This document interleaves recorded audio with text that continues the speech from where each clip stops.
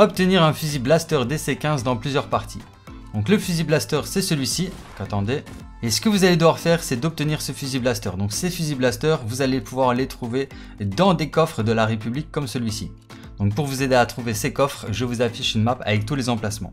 Ensuite quand vous trouvez ce coffre, vous euh, l'ouvrez tout simplement et ça va vous donner obligatoirement un, fusil blaster. Donc ce que vous allez devoir faire pour terminer le défi, c'est d'en obtenir 3, enfin d'en obtenir un dans trois parties différentes. Dès que ce sera fait, bah, vous aurez terminé le défi et vous débloquerez les récompenses.